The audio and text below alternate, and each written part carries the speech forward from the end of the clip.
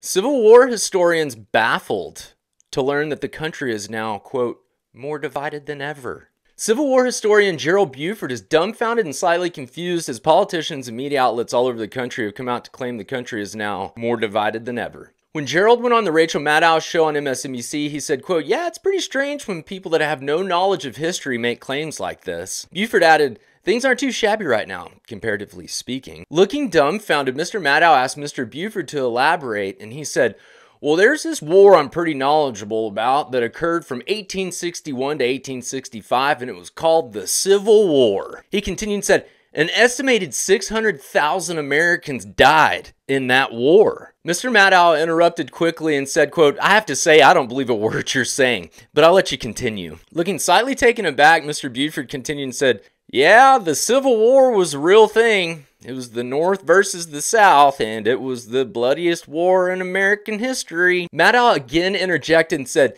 quote, Yeah, but people nowadays are demeaning each other and being mean on social media. Mr. Buford, once again dumbfounded, said, quote, well, I still think 600,000 dead Americans killing each other was probably worse. Maddow then interjected again and said, I'm sorry to cut you short, Mr. Buford, but I don't allow propagandist views on my show. I only allowed what I believe to be represented on this show. Mr. Maddow then cut the feed on Mr. Buford and told her viewers that there is no doubt we are in the worst time in our nation's history and the Civil War didn't happen.